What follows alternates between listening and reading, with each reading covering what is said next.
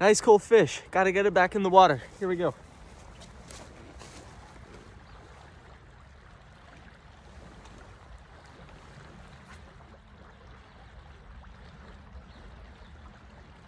Smaller fish. But it works.